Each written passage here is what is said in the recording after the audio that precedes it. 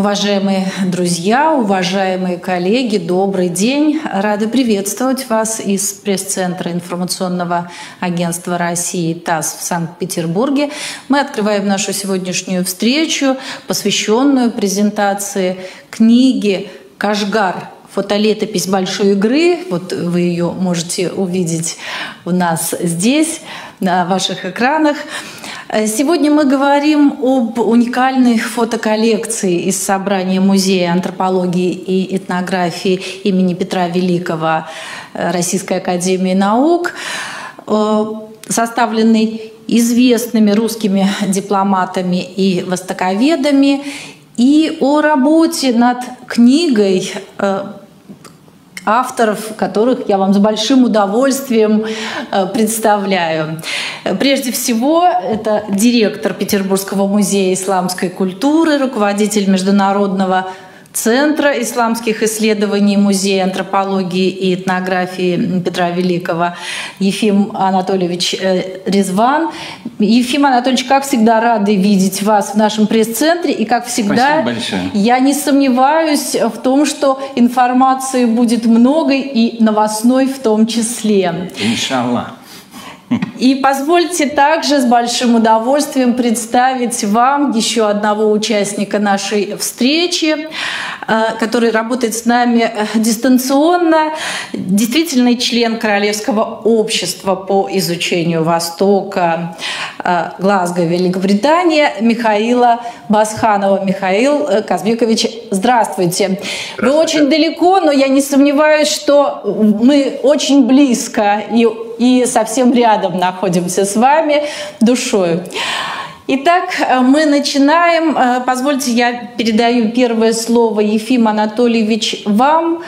Собственно говоря, некая прелюдия к той презентации, которая сегодня у нас проходит состоялась э, в ряде встреч, которые мы проводили не так давно. Вы уже как-то упоминали о работе, которая завершена, и сегодня мы с большим удовольствием готовы ее представить широкой аудитории. Спасибо. Спасибо большое. Э, на самом деле для меня сегодня действительно очень радостный день.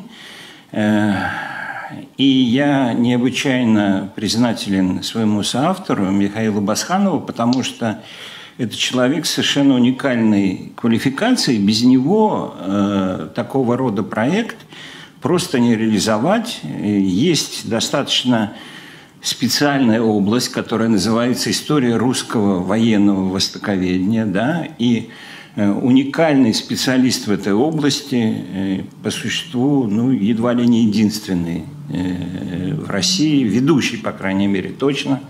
Это вот Михаил Басханов. И только объединившись с ним, мы смогли, собственно говоря, приступить к такому проекту. Несколько коротких, очень водных слов. Несколько водных, очень коротких слов – значительная часть XIX века была отмечена очень острым противостоянием между Великобританией и Россией, которое известно под названием «The Great Game» – «Большая игра». Последним актом этой большой игры э, стал э, север северные районы Китая, Синьцзянь-Уйгурский автономный район, да, сейчас, тогда это называлось Кашгария, китайский Туркестан, восточный Туркестан. Э, и для участников событий той поры э, значение э, вот этой территории по целому ряду составляющих было так велико, что их соотечественники, что у нас в России, что в Великобритании, относились к этим сложнейшим путешествиям туда, да, приблизительно как к полетам в космос советским и американским вот, во второй половине века XX все знали имена вот этих людей, точно так же, как мы знаем, скажем, имя э, Пржевальского, да, и э, это было, конечно же, военно-политическое противостояние, но оно сопровождалось, как сейчас говорят, археологической гонкой и научной гонкой. И было в результате вот такой очень организованной работы двух сторон в научных коллекциях, в архивах, в библиотеках оказались э, собраны потрясающие совершенно материалы э, по истории этого края, без которого, э, собственно говоря, без реконструкции истории которого вообще невозможно реконструировать историю Азии, как потом выяснилось. Еще один э, очень важный момент. На протяжении многих и многих десятилетий наши британские коллеги последовательно издают свои архивы, посвященные э, Востоку. Э, эти книги доступны в ведущих библиотеках мира, они на английском языке. И, а мы фактически ничего не публикуем. Мало того, что по-русски, да, значит, к огромному сожалению, вот аудитория русская э, все-таки падает, да, число людей, которые читают по-русски, по крайней мере, уж точно не растет. Вот. А получается так, что э, тысячи ученых, которые занимаются э, историей Востока, и ближнего, и среднего, и дальнего э, в 19-м, начале 20 века, они видят эту историю через английские глаза, английскими глазами.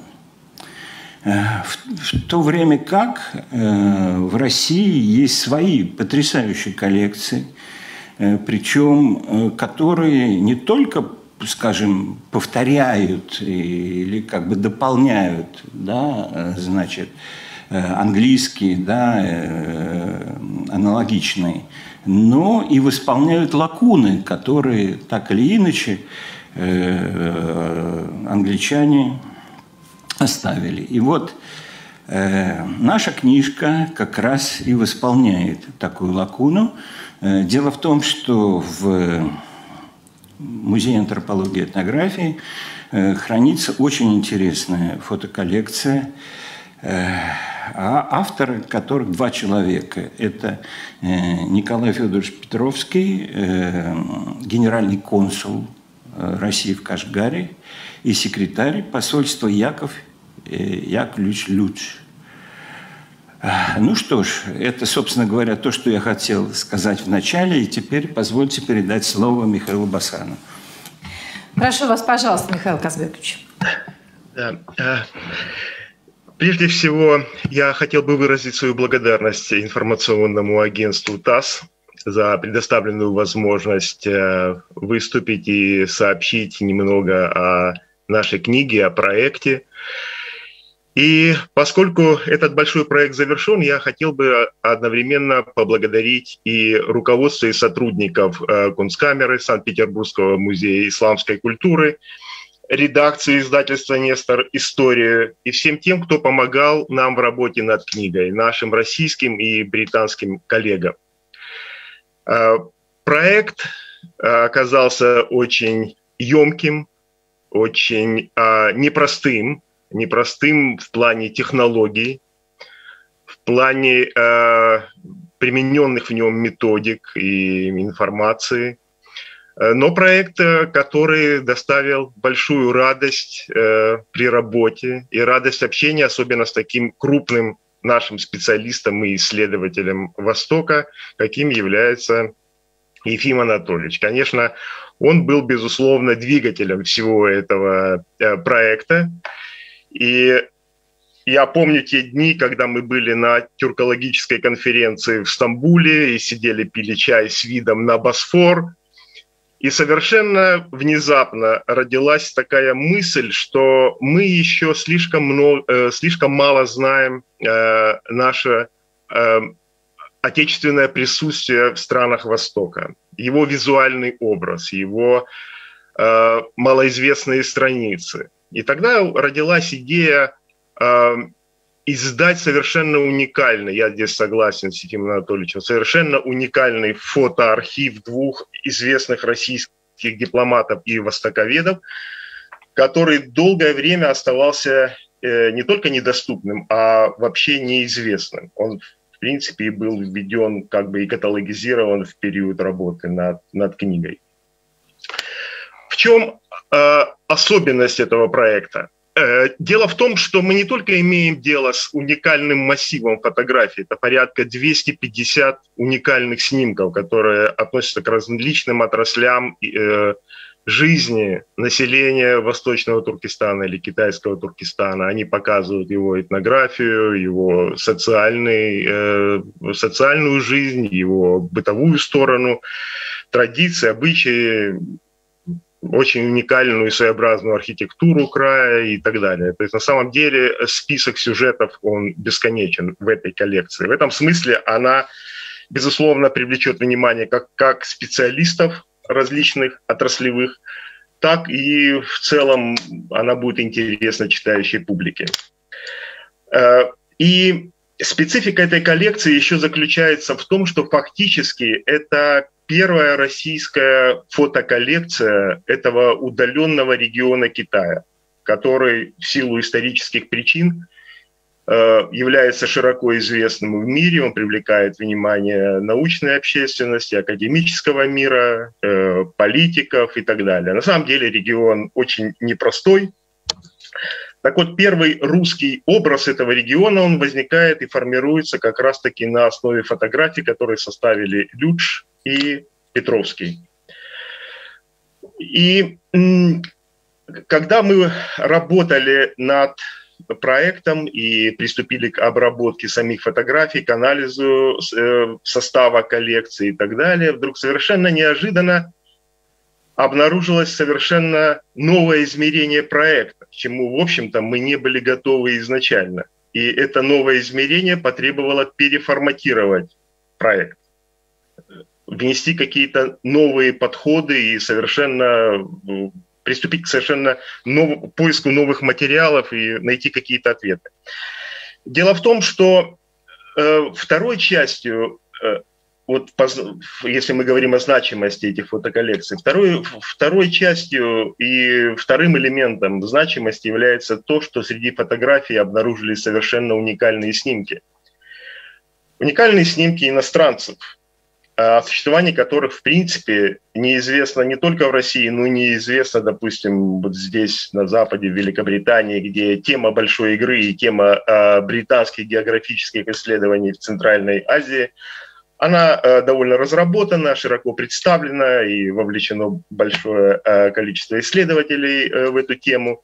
Но, тем не менее, эти снимки, их немного, их всего 4 или 5, но они оказались принципиальными, ключевыми для того, чтобы мы внесли существенные корректировки в проект, и откуда возникла идея связать фотоколлекцию не только с китайским Туркестаном, не только с Кашгаром, то есть, но и связать еще э, событиями большой игры.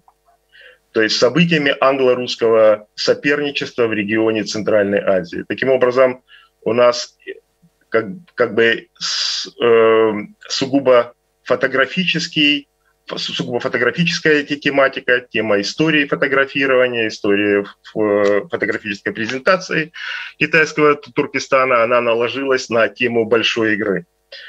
Э, дело в том, что э, среди фотографий, которые предположительно сделал Яков Яковлевич Людж, оказались четыре уникальных снимка. Э, это снимок, групповой снимок Фрэнсиса Ян Хасбента, известного британского э, участника как раз-таки этих событий большой игры. Э, в последующем именно этот человек отвечал за британское вторжение э, в Тибет.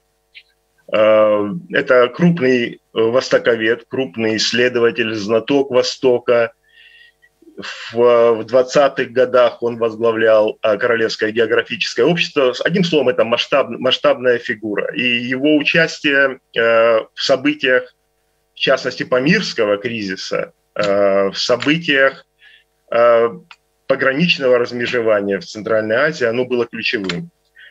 Вместе с ним также на снимке оказался ряд других э, сотрудников, которые находились э, в секретной миссии. Это сотрудники разведывательного управления штаба Брита, э, индобританской армии. И в том числе оказался э, тогда еще переводчик. В последующем это очень известный тоже деятель, э, британский деятель в китайском Туркестане, генеральный консул э, Джордж Маккартни.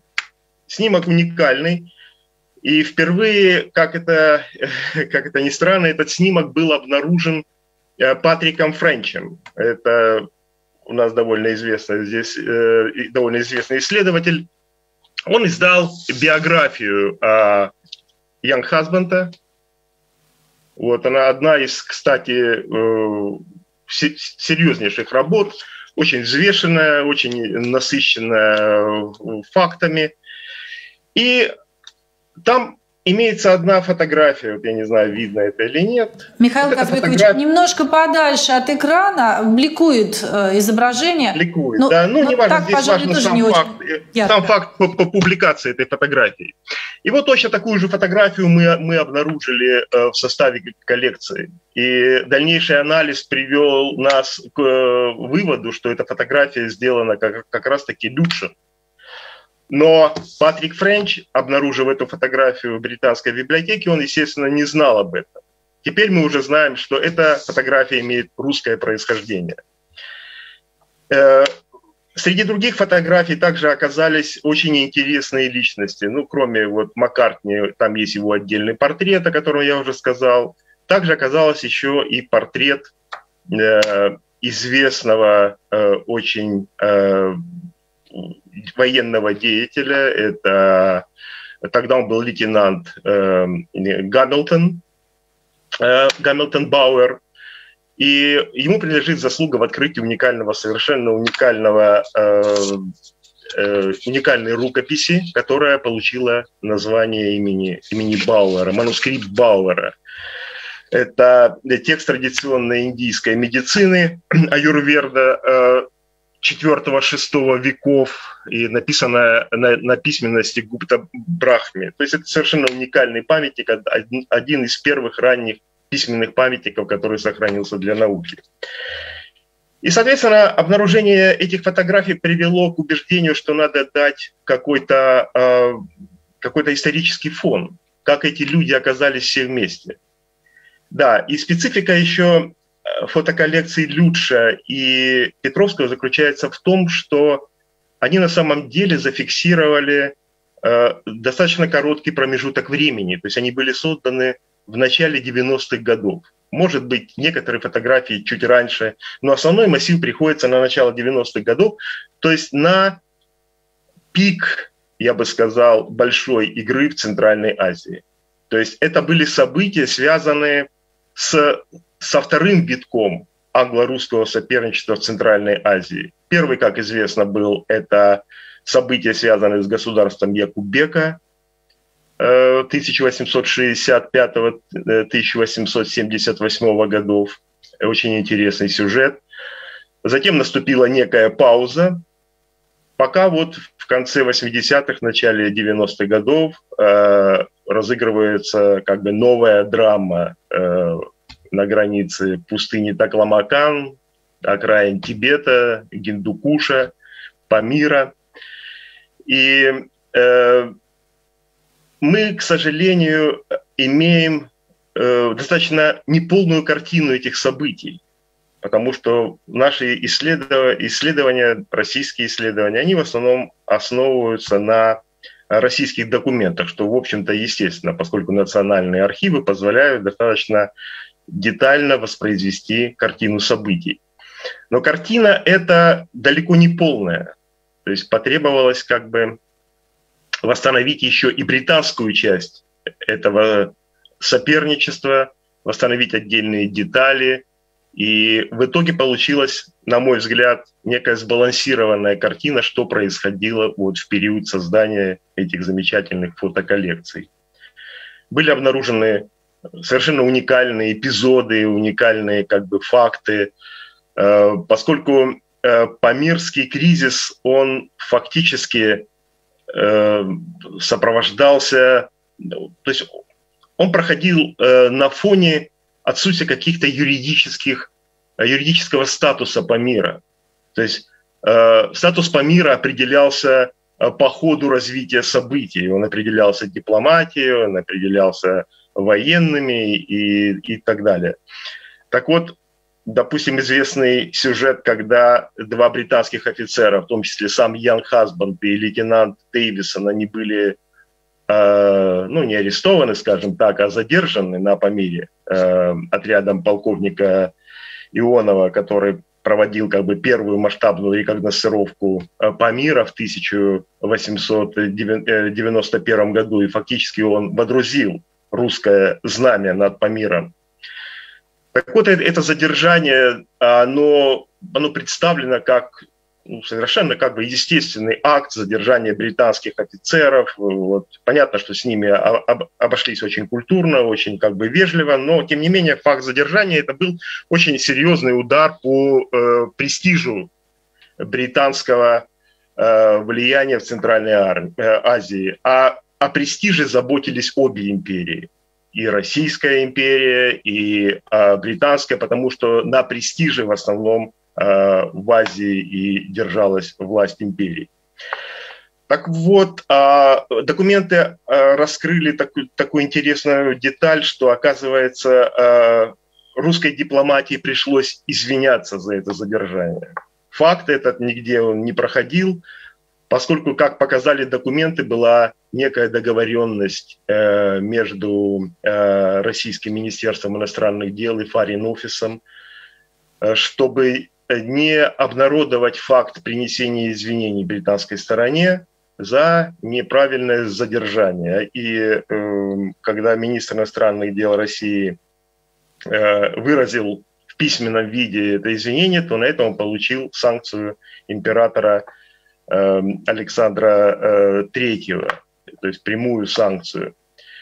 Э, э, другие как бы, интересные подробности всплывали по ходу обработки документов в связи с этим проектом. Это неожиданный аспект отношений самих участников между собой вот этой большой игры.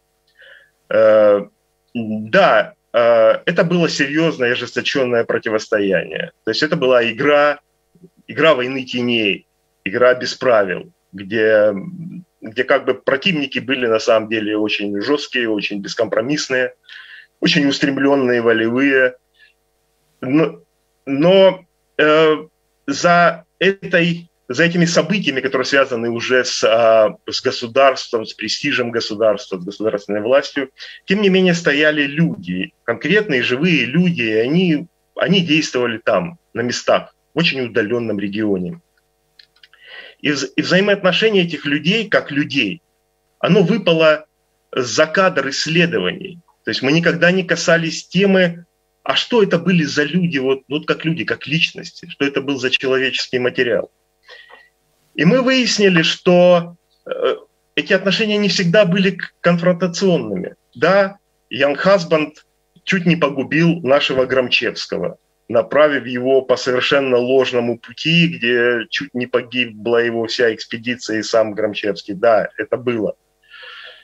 Э, Николай Федорович Петровский, добрейший наш человек, э, организовал как бы ну, скажем так, вежливее перехват британских писем. То есть за три русских рубля ему удавалось перехватывать секретную британскую корреспонденцию. Эм, то есть э, вот э, разных таких как бы ну, вещей, которые всплывали в документах, их на самом деле очень много. Вот. Э, там или Петровский, который а, подсылал своих агентов а, следить за британцами или пристраивал их на работу уже потом к британскому политическому агенту Кашгари Маккартни. То есть все, все это было. Или там Э, полко... и капитан Громчевский, интересовавшийся у, у Ян Хасбанта возможностью перейти на британскую службу, тоже факт как бы ну, исключительный, потому что нам до этого не было известно, что Громчевский зондировал почву как бы перейти на, на сторону, ну скажем так, противника нашего. Вот. И вся эта, вся эта совокупность информации, она была настолько уникальна, настолько нова, что мы ее вводили, мы ее накладывали на визуальный ряд. Это была крайне интересная работа, и она была творческая, действительно, во всех отношениях. И я действительно очень благодарен Ефиму Анатольевичу, что у нас э, был выработан такой маленький коллектив, который понимал друг друга уже потом с полуслова. Даже можно было уже какие-то вещи не объяснять и не рассказывать. Что касается э, большой игры и вот э, судьбы этих фотоколлекций, то мне здесь вспоминается одна мысль, которую э, Ефим Анатольевич высказал на одной из презентаций, что мы должны быть э, счастливы тому обстоятельству историческому, что у нас был такой сильный противник. Я очень хорошо запомнил эту его фразу. Это действительно так, потому что в Азии нам противостоял не только бескомпромиссный, э, где-то даже жестокий противник, но это был очень высокоинтеллектуальный Э, очень организованный, э, очень культурный противник. И мы на самом деле очень многому научились у него, очень многому. Мы научились э, постановке системы э, изучения сопредельных стран, которые лежали, допустим, по ту сторону Туркестанского края. Мы э, много взяли у британцев в организации системы разведки, в организации Э, информационного обеспечения своей оборонной и внешней политики. То есть было очень много на самом деле, что мы взяли у них. Но было бы э, совершенно неправильно говорить, что это был односторонний процесс, что это был просто процесс эм, одностороннего заимствования у противника сильного. На самом деле был и обратный процесс. А, англичане очень внимательно следили за нашими действиями в Центральной Азии, за нашими э, путешествиями, за, нашими, за нашим изучением, за, за тем огромным информационным архивом, который мы накапливали в ходе изучения Центральной Азии. Э, поэтому они очень много взяли от, э, допустим, для организации крупных экспедиций в Центральной Азии поскольку они внимательно изучали экспедиции Проживальского, его опыт, его экспедиционные технологии, и, соответственно, это все, все было использовано. Они очень внимательно следили за русским картографированием Центральной Азии, в котором, конечно, мы, безусловно, лидировали, потому что э, в отличие от, скажем так, практического британского э, картографирования Центральной Азии, э, мы все-таки вели более фундаментально, э, ставили постановку картографирования, то есть мы занимались определением и астрономических пунктов, и нанесением триангуляционной сети и так далее. То есть эти все элементы э, британцы использовали. Кстати, первая карта, рабочая карта, которая была у британцев по миру, это была русская карта э, Туркестанского военно-топографического отдела. И только спустя 5 5-6 лет после работы совместной разграничительной э, русско-английской комиссии на Памире появилась э, первая британская карта Памира, военная карта. Вот. То есть на самом деле и они взяли очень много от нас. Это был такой... Э, Спасибо. Михаил Казбекович, извините, пожалуйста, действительно, те сведения, которые вы приводите, необыкновенно интересны. Это просто вот основа для сюжета большого-большого сериала, как я себе представляю, когда вас слушал с большим интересом. Я предлагаю все-таки вернуться к книге и немножко подробнее рассказать, что же особенно следует выделить, как организована прежде всего книга. Ну, я уже очень коротко. Значит, э, дорогие друзья, каждая фотография сопровождается текстами. Текстами э, работ э, русских э, и английских путешественников, дипломатов, офицеров, непосредственно относящихся к сюжету фотографии. И таким образом, с моей точки зрения, у нас получилось, в общем-то, такая своеобразная энциклопедия вот э, Кашгарии этого, этого периода. Э, что очень важно, например, для меня лично. В 2008 году я был в экспедиции там. И вот если бы в тот момент я обладала той информацией, которая у нас сейчас есть в этой книге, я бы совсем иначе э, относился к тем древностям исламским, э, которые мы проезжали, которые мы фотографировали, которые мы видели. Я хотел бы подчеркнуть, что сейчас э, территория Сизянь-Уйгурского автономного района вновь является местом, в общем, достаточно острого соперничества, на этот раз – Э, между Китайской Народной Республикой и Соединенными Штатами Америки.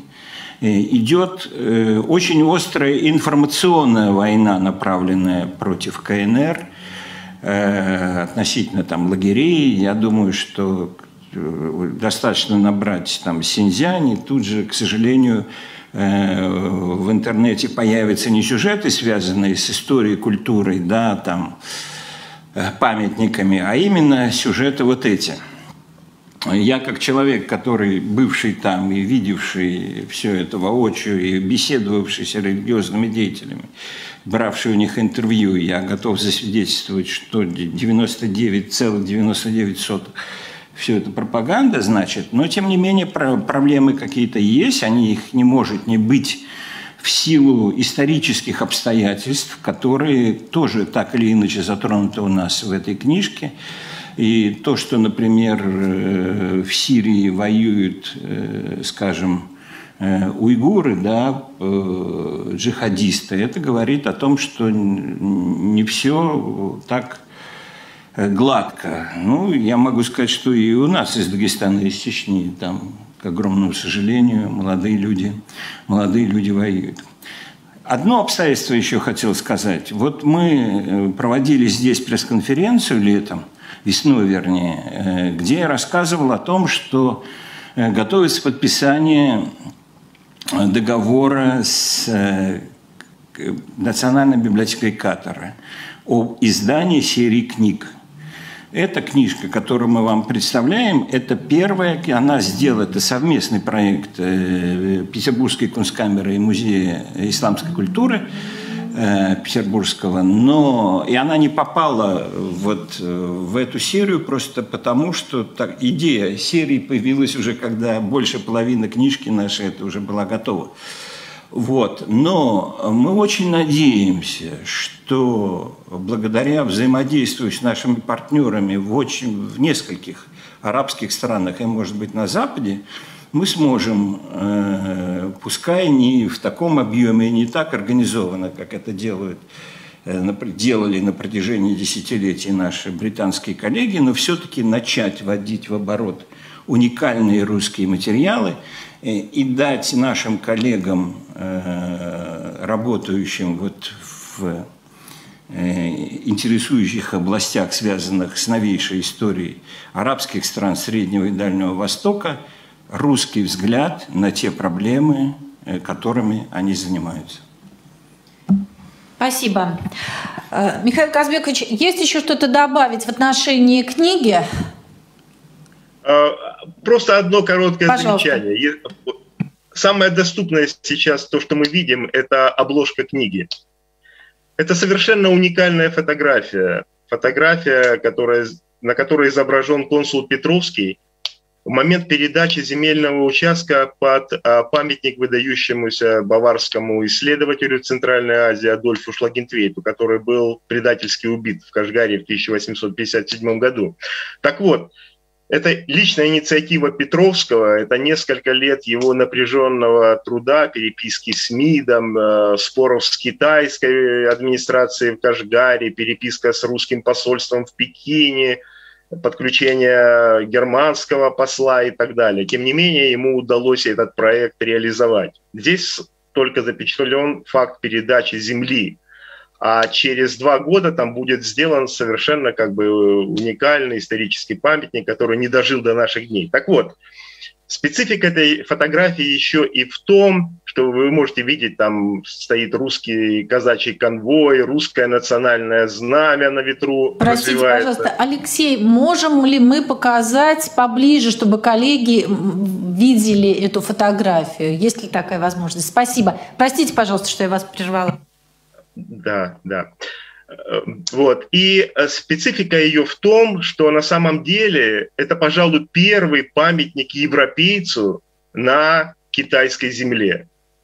И к этому памятнику приложили э, руку и сердце, и разум наши соотечественники. Это, это очень важный, важный момент.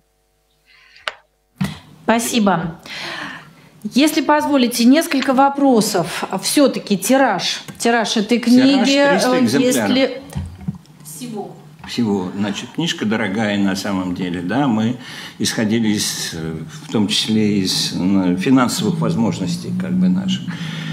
Э, но я очень надеюсь, на самом деле, э, это вот 15 книга, которой я причастен, да, э, автором которой, вот здесь соавтором являюсь, я могу сказать, что ни одна из этих книг, из этих 15, не вызывала такого интереса еще на этапе вот предвыхода в свет – и мне это необычайно приятно. На самом деле, э, если я так э, думаю, что если тиража не хватит, тиража не хватит, так э, с помощью современных технологий нет никакой большой проблемы допечатать. Но кроме всего прочего, существует еще, я так вообще предпочитаю сейчас электронные версии потому что книжки просто негде хранить уже, да, значит, соответственно, я больше чем уверен, что значительная часть наших будущих читателей будут, э, будут видеть и фотографии, и читать тексты с экрана, скорее всего.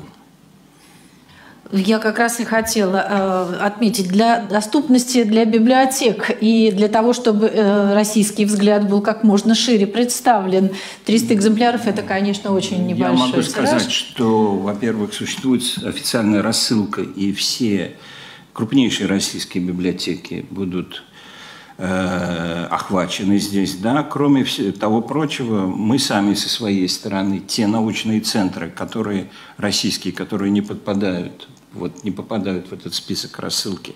Мы туда книжки подарим, и, насколько я знаю, Михаил собирается разослать книгу в профильные британские центры и в Швецию, да, значит. Да, да. Э, короче говоря, э, мы значительная часть тиража пойдет в подарок, собственно говоря, но Э, для нас э, книжка для чего нужна? Э, я понимаю, что есть некий книжный бизнес, да, там, и люди живут. Мы не о бизнесе, мы да, как раз... Значит, для, нас, для нас важно, чтобы книжку читали.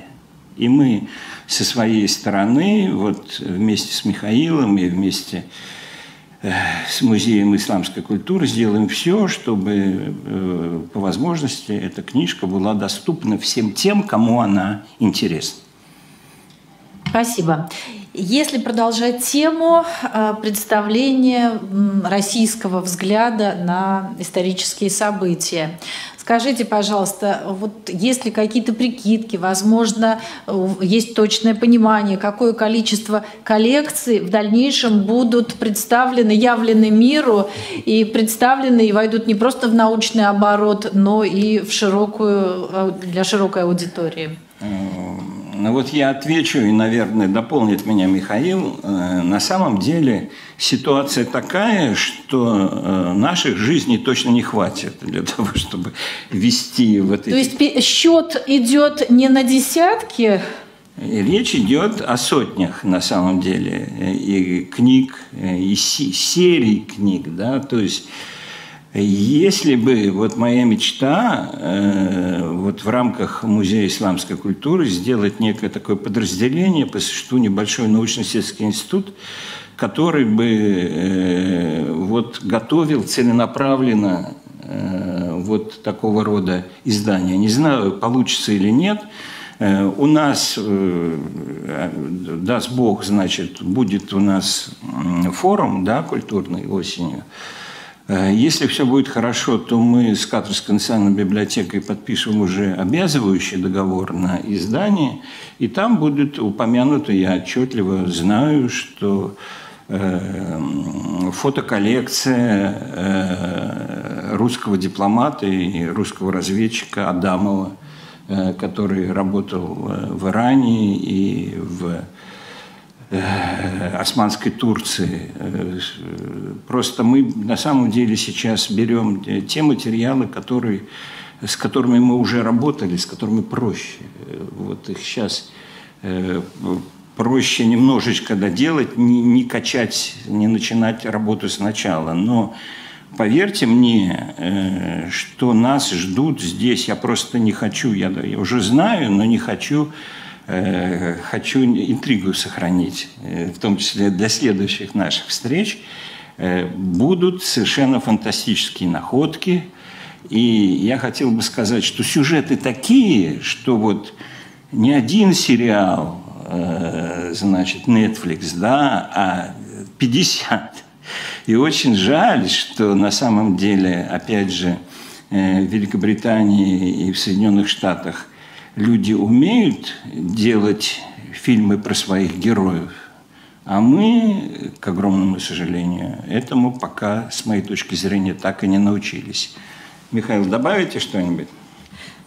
Да, я, я добавлю, опять же, вспомнив а, вашу мысль интересную, выс, высказанную достаточно давно, что э, мы в России, располагая такими выдающимися э, деятелями, выдающимися персонажами, как, к примеру, Пржевальский или Корнилов, э, при этом мы не имеем э, героев, такие, допустим, как Лоренс Аравийский здесь, например. То есть те герои, которые вошли уже в кинематограф, они вошли в живопись, они вошли, в общем, в какую-то даже бытовую культуру. Э, и это на самом деле очень сильно укрепляет позиции ну, той же самой британской и культуры, и истории, и, и британского престижа. Поэтому это на самом деле очень серьезный вопрос, который Ефим Анатольевич э, поднял, и я думаю, что это будет очень интересно. Я бы еще добавил, что касается книги. Э, книга на самом деле двуязычная. То есть она, это две, две книги в одной. Это русский текст и британский текст. То есть английский текст Э, который, в общем, выполнен на очень высоком уровне. Он специально делался для того, чтобы в академическом мире книга была воспринята совершенно как бы адекватно, правильно, на равных. То есть там, э, в общем, книга подготовлена и она адаптирована для, для британского читателя. Адаптирована, я имею в виду, плане качества языка, в плане оформления и, в общем, культуры подачи текста и так далее. Это очень важный момент тоже на самом деле. Я думаю, что она будет очень как бы востребована и здесь, на Западе.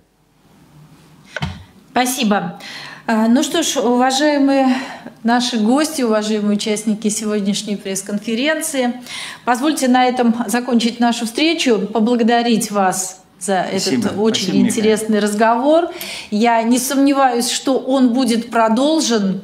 И у меня появилось просто несколько идей, которыми я готова буду. Ефим Анатольевич, с вами обменяться, а, с тем, чтобы мы могли эту тему а, продолжить, пока еще, может быть, на стадии а, вашей, ваших исследований.